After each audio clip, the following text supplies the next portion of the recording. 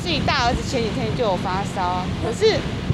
可是检查 PCR 又是阴性的。他是住在板桥染疫社区大楼 A 栋住户，喊出想跟 B 栋全体住户一样，直接送检疫所十四天，就怕儿子只是在潜伏期。毕竟现在埃及爸跟他太太足迹出炉，八月二十二曾去四维路超商，下午再去中和妇幼用品店，主要前往公共场所在四维路。但仔细看看 B 栋确诊六人，住十一楼埃及爸 CT 值三十七点九，同住太太二十九点一，楼下麻醉护理师三十八点五，和接下来确诊两人到底是谁传给谁，目前依旧。没答案，担心社区正藏着许多传播链和黑数。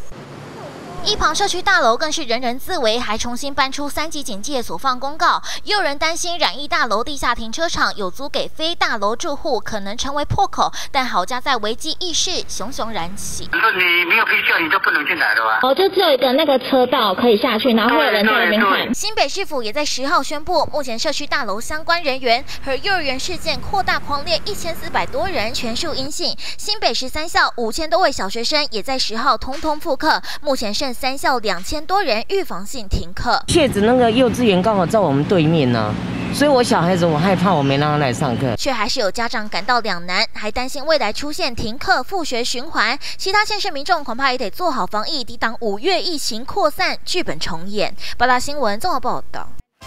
十八位玩八方，锁定八大民生新闻，记得按订阅，开启小铃铛哦。